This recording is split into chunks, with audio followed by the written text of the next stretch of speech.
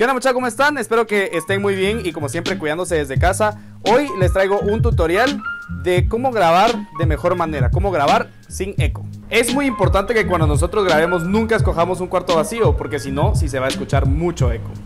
El carro es un muy buen lugar para grabar. Nuestro audio va a salir perfecto. Bueno, y otro tip es eh, que cuando nosotros grabamos nos ponemos una almohada acá, del lado izquierdo o derecho, como ustedes quieran.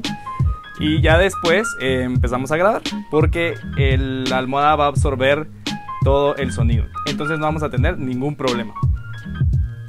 Bueno, y esto fue todo. Espero que les ayude en cualquier proyecto. Nos seguimos viendo en LTC en línea.